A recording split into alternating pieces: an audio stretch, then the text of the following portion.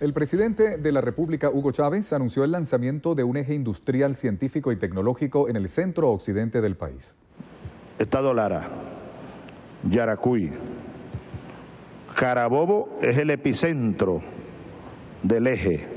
Aragua, Miranda, Miranda, incluyendo también el distrito capital y parte del estado Vargas. Estamos configurando aquí lo que va a ser, estoy resuelto a que lo hagamos, un gran polo, un gran polo industrial venezolano. El jefe de Estado aseguró que el gobierno nacional se encuentra creando las condiciones necesarias para impulsar el mercado común del sur.